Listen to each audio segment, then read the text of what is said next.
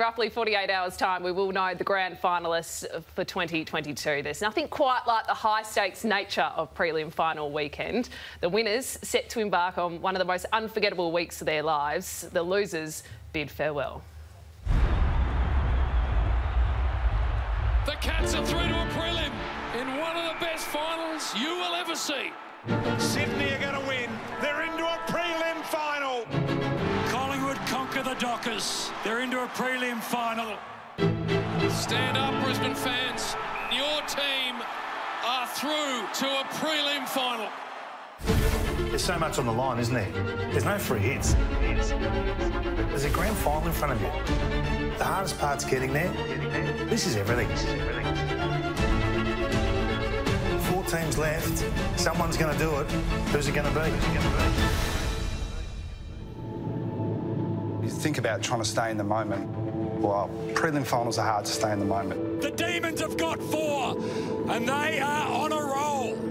Projecting forward to what's possible for the next week if it goes well, or you know the feeling of it's abject depression really. You know if it doesn't work out, it just means the stakes are high. Hawthorn to the grand final. These prelim finals are hard to get to, and so what you've got to try and do is when you get to them is make the most of the opportunity. The key to it is not to get caught up in thinking about the grand final. though. The key is just to play every minute of the prelim final like it's the, the last minute you go to play. This could be a win for the ages for the Brisbane Lions. You set out to try and play finals every year to give yourself a chance to win one because they're hard to win. So if you just keep knocking out the door, at some point in time you might walk through it. It is one of the great performances. We understand the, the importance of a prelim final, but as far as the game itself and the siren goes, and we need to stay in the moment. Mills! Got some experienced players that can share that experience with the younger players as well, so that's important. But you need to experience it yourself too. And the crowd will roar.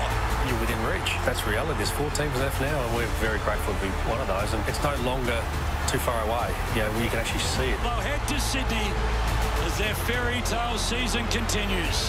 What's on the end of it, having been fortunate enough to get to the grand final, you know how special that is. So for those that haven't been in that chair, you just want it so much, so you're willing to give more.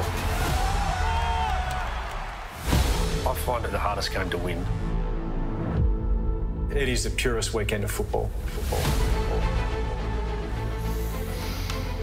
What a weekend it will be, and it all starts tomorrow night. 6:50 uh, coverage of Geelong hosting Brisbane. That is straight after the AFLW.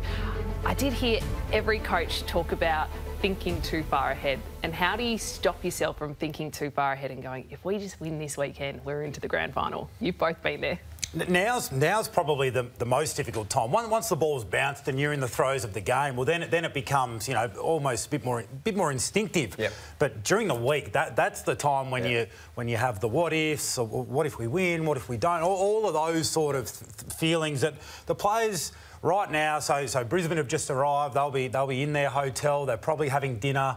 They might even be watching us. So good good luck, boys, if, if you are. Um, but but the, the the butterflies are just they're consuming you at the moment. Yeah, because there is the, the, the mental side of the game that you want to be focusing on. And, and, and playing the game in your head can be really good if you, you're playing the right actions, but the what ifs, that's the thing. It's the what ifs. Like, if we just get through this week, we're a chance of winning the whole thing. That, that, that's the really, I mean, that's the hard one that you don't want to get caught up spending too much energy thinking about next week. When you're right, Roo, you've still got a, a really big Yeah. game to go ahead this week. Hmm. So a lot of the talk as we look at the team changes has been about Mark O'Connor and his job potentially on Lachie Neale, given given he's done it in the past. He's he's been uh, he's been named out, so he was the medical sub. He hasn't been brought into the 22. Are you surprised by that? Uh, a, a little bit, but I mean, this, Ge- Geelong, yeah, that, that- Geelong have options. So Cam Guthrie's a guy that's played run with roles before. Atkins, he's been a really good, important ball winner for them. He could potentially do it. Or you just have those contingencies. You have those backup plans. Whereas if Lachie Neale is getting away from you, and most importantly, the game is getting away from you, then th- they'll have a plan to be able to turn to. The Cats are the king of the last change. They they love a last little sneaky change. Do, Shaun don't Grigg they? down there, he's got he's a, he's a real sneaky sort of operator, Shaun Grigg, when it comes to tactics. I wouldn't be surprised if there's a late change. And of course, Chris Scott, his 500th game as a player and a coach. And then Joel Selwood as well playing his 39th final, so that's equaling yeah. uh, Michael Tuck's record. So if they win, get through to the grand final where he was playing his 40th final, which is just extraordinary. Two seasons of finals. Yeah, two seasons it's of crazy. finals. Phenomenal. Yeah. yeah. Uh, as for the Brisbane Lions, well, these changes were expected, and that is Joe Daniher back in and Oscar McInerney. It was interesting you raised this point on the couch on Monday night as to whether they will, in fact, bring Joe Daniher back in. Yep. They've done as many have. would have expected because Yeah. it would have been a pretty brutal call. Yeah, it would have been a brutal call, but I, I, I think it would have been a conversation that would have would have occurred at match Really? committee. Yeah, I, I think so. Particularly when you when you consider how. Eric Hipwood looks to have grown Yep. when he's been the main man. Yep. And I just think a- a- against Geelong, they're going to they're to have to do something out of the box, I think, to win this game Yeah. of football. So ball on the ground. Geelong at times, I think, when they when they do look vulnerable, Geelong, it's ball on the deck in their back in their back half. Yeah, we- because they, they've got great marking Exactly, players, but but you, you, I mean, you've lived this Yeah. against the Cats. Yeah, yeah, and Tom Stewart um, has dined on sides in the air, and now we know De Koning's coming through, and he's turning into that intercept type of player. Kolodjashnij can do it. You can beat them on the ground because you know they're going to commit in the air. So the, uh, the, uh, that's why I think Daniher's role is really important, and to have those tools there. And it's not about taking big hangers and doing all the glorious things as a key forward. It's a real ground and pound night. You got to get, you got to bring the ball to ground, bring Charlie Cameron into the game, McCarthy into the game on the, on the ground level because that's where they can get him. We'll delve into Brisbane. Let's delve into Geelong first. It's quite staggering their their record. So their eighth prelim uh, final under Chris Scott, and they've only won two. But it feels we've been saying this all year. It feels different with Geelong this season and the changes they've made to be able to play finals football and win finals. Yeah, well, let- let's talk about who they are statistically because they are different. So, so the turnover game for Geelong is is king, and we know that that games are won by the team that wins the turnover battle 80% of the time. So, they're the, they're the number one team at scoring from turnover, and they're not the number one team at defending turnover. It's only happened once in the last decade, and that was you boys in 2019 when you won the grand final by 89 points. So, in, as far as their game is concerned, Yep. they are absolutely primed. The, the, the other part of it is, and, and Chris Scott um, alluded to it as much this week, is, is they plan this to the week.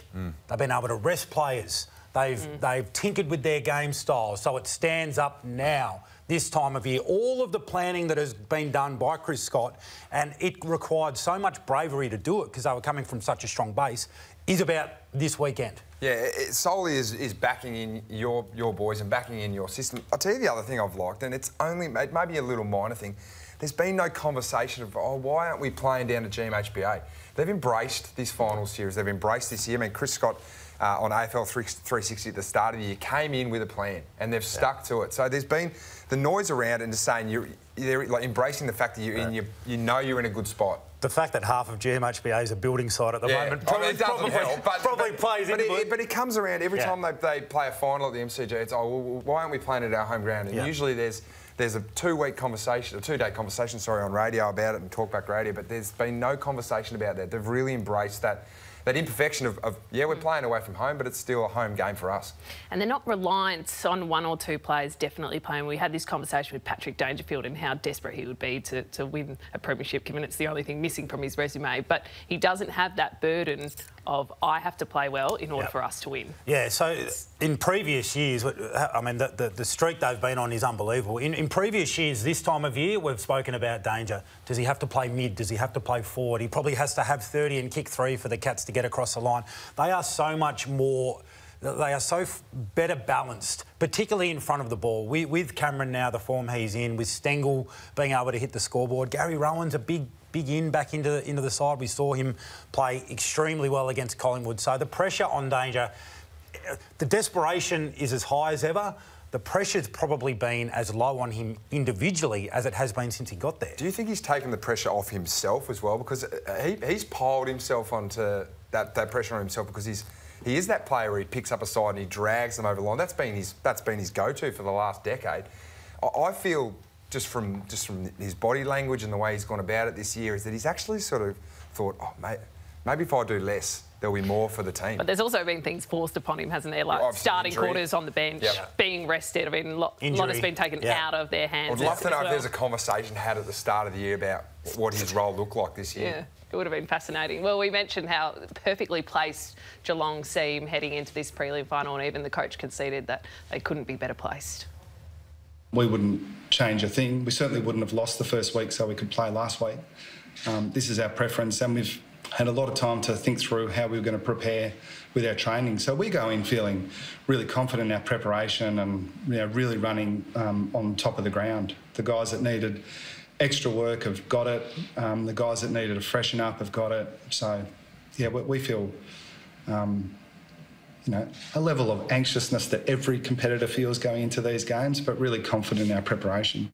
So we try to pick out the holes, and, and maybe this isn't going to work in their favour. And we talk about that playing one game in three weeks. You've been there and done that. What are your thoughts on it? Oh, I think it comes down solely to training, uh, and that's why you've got a, that 44 on your list. Is that sides like Geelong that are that are one game in I think it's 27 days. Uh, You'd re you recreate what a game, and that would uh, recreate what a game is a week out. So that was our go-to. We'd have a bit of a scratch hit out, sort of three quarters, maybe just over a half, to replicate um, a, a, sort of good hit out. Um, so that, that, that's what they would have done this weekend. They would have prepped themselves. They'd be harder to come in, and I think.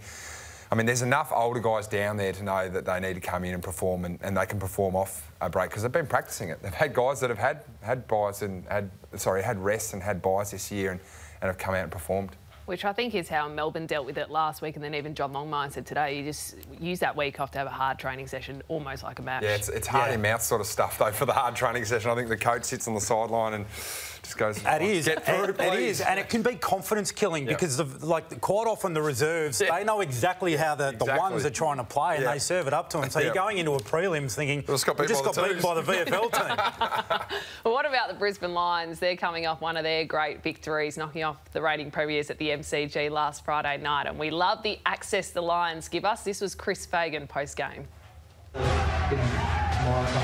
That's our greatest win. I think you'd all agree with us. The greatest win you've ever played in Zorks, Richie. Yeah. Um, against the odds. MCG haven't won here for 100 years. And, uh, we're in a proven final. Um, why not go out there and play the way we did tonight? We, we just went after it. Like, we just kept going after it. Everyone said we couldn't do it well we did. So Vivian, it's right. Think really positively um, about about what we're what we're capable of, and let's go out there and give it a shot. All right. Nothing like that belief you get when a coach says, everyone said we couldn't do it and we mm. just did it. it. We had been speaking at length about their record at the MCG. They, they win there for the first time since 2014 and now they could make it back-to-back -back wins at the G in as many weeks. They could. But, but they need to go to another level again because for me they're the outlier of the top of the four teams that are left. So we've seen Geelong, the, the Geelong Collingwood game, you know, for the first in the first week of the finals was unbelievable with pressure and intensity and effort. Sydney have delivered the same. For me, Brisbane have not shown that level of consistency with application, particularly defensively, like the other three teams. So they did it in the second half against Melbourne. They cranked their pressure up to 214. If they are going to have any chance in this game, they need to deliver a four-quarter performance because even in the first half last week against the D's, they they weren't at the level. They were lucky at quarter They, they were not at the level with you know committing their bodies in contest defensive pressure, chasing, all of that sort of stuff. To their credit, they cranked it up, and that's why it was such an unbelievable win because you couldn't see it coming. Yeah, they really roll with momentum. So, like, I mean, they probably were a little bit lucky at quarter time that Melbourne weren't um, as clear, uh, sorry, as clean with their disposal and shots on goal. So. I actually think that the, the bigger ground of the MCG suits a side like Brisbane um, compared to Geelong. Like, and I love the storyteller aspect of, of Chris Fagan the way that he embraces the history, and you know he's, he's sort of tongue in cheek there. We haven't won here for 100 years. I think it was 2014 when they last won there. But that aspect of just taking his guys along the journey, even back to the start of the final series when he spoke about we've had we've had a we've had our kicks in the guts and, and we've learned from it, and, and, he felt like his group had grown. And he, and he really believed that, that, that, they can go on and win the premiership this year. That, I love that aspect of a coach. It's a really important fact. And They'll be backs against the wall this week, mm. and if they can put a full full game performance in, like the pressure in the second half, that's it. They can't win without it. They, they, they, they can do. win, but they can't win without yep. that pressure.